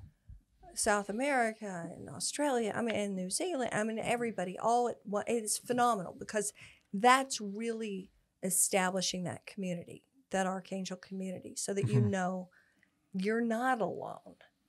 And if you don't practice, you're not going to get better. Uh huh. Wow. So a lot of the uh, the do you do a lot of like uh you learn a lot of this through like meditation and stuff like that as well? Yeah. So It's, is it gonna have a lot of meditation and, and things like that in it? if you're going to get anything new into your brain, Uh huh. you can't just run what's always been running. Okay. If you're so obsessed with what you already know and what you think you know, how's anything new going to slip in there? Yeah. We have to turn the obsessive thought process off and take in some new ideas. And the new ideas are really nourishing and loving and powerful and funny. I mean, a lot of funny things happen. Yeah. Animals are funny. Yeah. I can only imagine. I mean, you, you cannot get in a conversation with a creature that eats cat shit and not laugh. I mean, they do. They do. I mean, one time I was I was at the Unity Church delivering the ministries in Atlanta, uh huh. Oh wow. And the news came out, and I'm on live news. Mhm. And I'm talking about opening your heart and sending bridges of light and receiving quantum information and being able to love unconditionally and connecting to angels and the earth and grounding yourself and going into this space of peace and love and joy and hope Mhm. with us nothing but harmony and goodness and we're connecting to this dog and i asked the whole group in the audience what's his favorite food imagine that your mouth is filled with something that's just delicious to you and I look around the audience and here are these church ladies, and they're sitting there in their, you know, hats and pantyhose and Atlanta church ladies, like a bunch of sausages. And they start going, I'm, I'm, I'm watching them. And one of them raises her head. Oh, She goes, no. Well, it's brown and sticky, but I don't know what it is. Oh, no. and another one's going, Well, it's chewy and dark color, but I don't know what it is. And then, I mean, we're in a church. Yeah. no. And a woman raises her hand and she says, Why do dogs eat cat shit? and another woman says, Well, I call them nutty buddies because mine just fishes them right out of the cat box. oh my god. But, y- you know, they're, they're funny. Yeah. Yeah. Yeah. How do you not laugh at that? Yeah. Did you start laughing? Yeah, I, th- I, I think I had to. I, I don't think I could keep a There's- straight face. There's no way around that to not no laugh. way. No. Oh, That's man. awesome. that is awesome. Yeah, this. Sorry, I gotta get my composure after that. All right, I'm, I'm going to continue to plug. Let me think about the plugs. Yeah, she's uh, All right, she's where am I? her. Where am I going to Okay, be? Where am I going to be? Um, let's see. January, there's a pop up in Houston, so I'll be at this pop up. And February, I'm hoping to get Mad Monster in Charlotte. We're talking right now. Mad Monster. Mad Monster Convention. Okay. In April, I'll be in Days of the Dead in Chicago. Mm-hmm. In March, I hope to be at the Showboat in Atlantic City in New Jersey. Okay. So, whenever there is a convention that's open, we're in masks, we're distanced, there's hand sanitizer everywhere. And I I will be there greeting fans. I mean, we're they're not going to be huge the way the conventions usually are. Yeah. Can you use my license? They might be like a fourth of the capacity. Okay. But I also think one of the important parts of keeping the coronavirus at bay is being happy. Oh, I absolutely agree with that. Your immune system responds to joy, Yeah. and you can't just hide in your house and be paranoid. No, absolutely not. It's not No. good. It's not good for you. That's what I say. Like whether the mass, whether the mass work or not, do whatever we got to do. But I, I mean, I, I think that your mental state is going to be your strongest defense against this thing Absolutely. Very well said. That's for right. for anybody. You know, and a lot of these people that are just locking themselves up and constantly paranoid about it, and then you know they get angry at the people that don't want to wear the mask, and they do this. But it's like you know, it, it to a certain extent, I get it. Yes, that whatever the scientists say we have to do, then you should you know listen to them. I get that, but you know, for some people, you you're like, oh, they don't, they don't want to wear a mask, they're complaining about it, this and that. Then it's like, well, I mean, that's at least they're trying to stay like kind of positive and strong in their own mindset. I guess to a certain extent, that's good. That's Yeah. what I feel. Mm-hmm. But I mean, I, I feel that sitting at home and being scared, and then every time you go out, that's only going to make you on- once you're not mentally strong yeah, and you're just terrified in public, you're Yeah. vulnerable. very vulnerable. Oh yeah. It's almost like getting, you know, they say that's the you're saying earlier, that's the easiest way to get a possession is when you're vulnerable or you Yeah. allow that. You, Yeah. You're so scared of it that you allow it in, mm-hmm. Yeah. Mhm. and I think that's kind of how the how a virus works. Uh, Oh yeah, of course. When you keep telling again. yourself, "Oh, I'm I I think I'm I'm getting sick," you know, I feel sick. Mhm. You're gonna get sick. The whole Mhm. mind, the brain is powerful. The Yeah. mind is powerful. Absolutely. If you tell yourself, I'm going to get sick, I'm going to get sick, I'm going to die out there, then chances are you're probably not going to be very strong against it. Yeah. Yeah, exactly. It, it's like getting behind the wheel of the car saying, I'm going to have a wreck, I'm going to have a wreck, I'm going to have a wreck. Yeah. wreck. Yeah. Going to wreck. Well, you, trust me, you are. Yeah. You will. hmm Oh yeah. Absolutely. And we have to try to try to go forward with things that make us happy. Mhm. Yeah. And I, I think if anything, this has really made people think about what's important and your own mortality. What do I what do I need to accomplish? What did I come ha- down here to do? Yeah. Yeah. What's my place? I need to do it. Get on with it because we might not be here much longer. Yeah. Yeah. That's this podcast was something we kind of started for fun. And then, like, as we start bringing people on, it just keeps getting deeper and deeper for us. And every podcast hits us in a different way. And, like, Yeah. having you on the podcast for one is like it's just opened our mind up so much more towards new things already and i could i could see his wheels turning my wheels are turning but you know and it's every time we do it we just keep learning more and more and more and like it's uh I feel like I'm getting more mentally strong from it almost. You oh, know? absolutely. Yeah. Like, like, like to be completely honest, just talking to you and the Not, not to sound corny. amount of time that we have, you've completely changed my thought process on multiple things. So thank you for that. Wow. yeah. Thank you. No, it's it's energizing. hmm And I, I kind of felt you out before I thought, am I really going to drive across Vegas and go do this podcast? And I I came in a day early. Yeah. So I Mhm, thought, well, mhm. And you said, well, won't go out in time to promote what I came to do. But there's some there's some life force. Also, you know, we're speaking truth. We're talking Yeah. about Yeah. things that are true. And we're sharing power. Yeah. And the people that watch it and listen to it, I hope they're also filled with power, with hope and power. Because we're going to be okay. Yeah. I mean, what we've been considering the normal state of affairs might change really dramatically. Yeah. Yeah, yeah. But we came for the party. Yeah. That's why we're here. We're not vic- we're not being victimized by anything that's Yeah. happening. We came for the apocalypse. I'm here for the showdown. I wouldn't miss this. You know what I mean? Yeah. Yeah. I wouldn't miss this for anything. And that's why you're here. Yeah. You came to help when the earth needs the help the most. That's awesome. Yeah. but you're not a victim. And I think that that's also what people are addicted to Oh yeah. on both sides of the politics. I'm a victim. Oh yeah. Oh, he's doing this, or Yeah. I'm a victim. blah, blah, blah, blah. And and so they're. I, I mean, you can't both be victims. Yeah. Yeah. If whoever you wanted to get win the presidency just won, shouldn't you be happy? Oh Yeah. God, no. They Yeah. got to be now that now that you won, you got to be mad at the other person. Yeah. None of it makes any sense. Doesn't. Absolutely it doesn't make no any sense. sense at all. Nobody's being victimized here. We came here for this event. Yeah. If you're being victimized, you're victimizing yourself. Yep, it's a global transformation, Mhm. and we have to figure out, even if it's a very small thing, what thing can I do?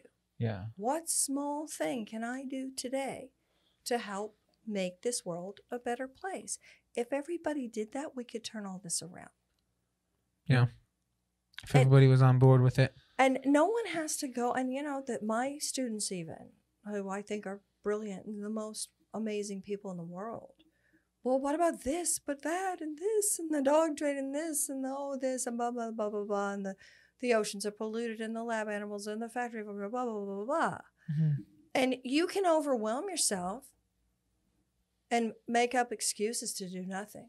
Yeah. It's all so terrible. I can do anything. Everyone has some small part to play. Yeah. And if each one of us would get real clear on what are my talents and gifts, how can I contribute? Maybe somebody is going to help me with my website for my, you know, for my charity. Maybe somebody has money, so maybe somebody doesn't. Maybe they're better at marketing. Um, maybe somebody else is better at fundraising and they can go to some big company and say, these children need computers. They need, you know, every everyone has a way to help. Uh-huh. Yeah. And if we were busy helping, we wouldn't be sitting around being armchair critics complaining. Yeah. complaining. Yeah. You don't hear like- me complaining. No. And I feel I'm- like even if you help, say you help one person, that can cause that person to go on and help somebody else, and that can That's right. cause a chain reaction, and you can change. You can change a lot of stuff like that. And it also just changes how you feel about yourself at the end Yeah. of the day. Yeah. Yeah. If you you stopped with that one homeless woman holding her baby and said, "How'd you get here? What do you need? What Yeah. can I do for you?" You're going to have a good day. Yeah. You're going to feel better about yourself because you help somebody. Absolutely. Mm-hmm. And it's just that simple. Definitely. Yeah. That's what like for starting the podcast for us it's been because I mean our band we had we were from a band originally and we did get signed and stuff like that, but we never got big or anything. You know, we were it was quick and done. We still have a band, you know, we still play music and stuff, but when we started up this podcast, it was kind of like one of those things. It was like, eh, you know, there's really nothing going on. Let's kind of throw something It was together. something completely new for for him and I. So we didn't want to do video blogs and stuff like that. So we're like, let's podcast. You know, our mom, our family, everybody kept telling us like, you guys are funny. You should do this. You should do that. So we years and years went by. We never did anything. And then finally, we are like, you know what? We sat down. We're like, let's start a podcast. None of us have ever recorded. Neither one of us has. None of us has ever edited a video. None of us has ever talked. I'm. I can't even call the pizza joint and order a pizza still. But I was like, let's do it.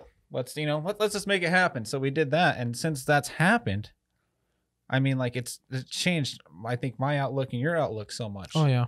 And now it's. I mean, it doesn't matter.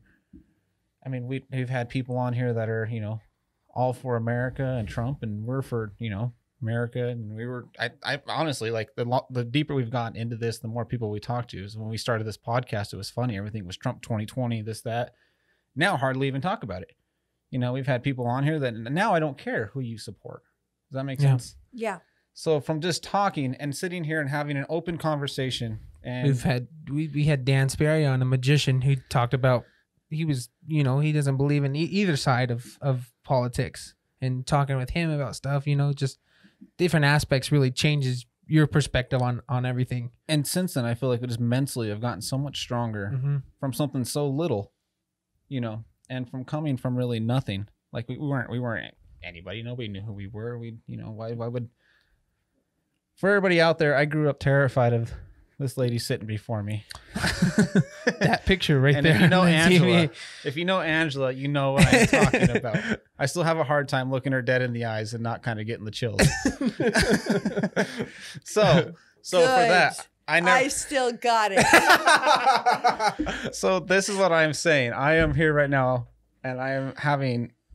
I mean, I don't know. It, it's it's like it's a heart to heart to everybody that sits in the studio with us, and it's really just changed my outlook on the world. It's changed my outlook on people, the spiritual to, world. To, to, be, to be somebody, for, for you to be somebody that terrified us as kids, and we're he- sitting here with you right now talking about communicating with animals and aliens and spirits and stuff like that is amazing. And we never thought we'd and none have of this opportunity. And that's at that point in time, none of it matters. It doesn't matter what you believe in, who you support. We're all the same. yeah. You know, Mhm. And and th- I feel like since we've started this, I've learned that it doesn't matter what your beliefs are. If you're gay, straight, Yeah. whatever it may be, you are. We're all the same. Yeah. Mhm. Everybody is one being, and we all end up in the same place. Yep. Wow. Well, I, I posted once on the Facebook page. Um, and so if if people want to find me, they can go to Facebook, they can go to Instagram, they can go Mhm. to ameliakinkade.com, they can go to Language and Miracles Institute. Mhm. Hopefully get in the webinars so that we can continue these conversations. Yeah.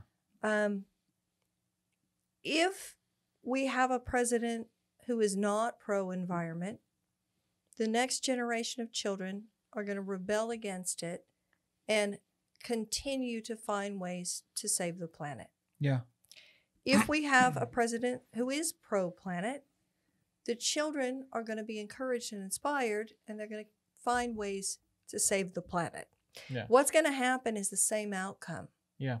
it doesn't matter what inspires the change. The fact of the matter is the change has to come. Yeah. So there are all sorts of changes that need to happen in order to have this many people living in harmony on this planet. Mhm. Now, that's the goal. For me, it's also living in harmony with the animals and cohabitating with the animals on this planet. hmm Um, the changes that need to be made, full swing. It's already happening, and Yeah. nothing can stop it. I agree. Nothing can stop it. And by virtue of the fact that we're here having this conversation, what what it means is that we came to get this done. Yeah. Yeah. So there's nothing to be angry about, and there's no reason to play the victim. Yeah. That's just wasting time. And it's wasting so much precious energy that you could use helping people, being creative, applying your talents and your intellect in a way that your part. doing your part. Doing your part. Oh man. Next time she comes Two comes birds on, in one stone. ladies and gentlemen, we will have the Angela discussion. But yeah, yeah, we'll do that on the next one. I just wanna- I want to thank you so much for taking some time yeah, and absolutely. coming down here. And uh, this is uh, This was an absolute pleasure for sure. and it's gone a lot. It's it's so much deeper than I thought it was going to be. I'll be honest.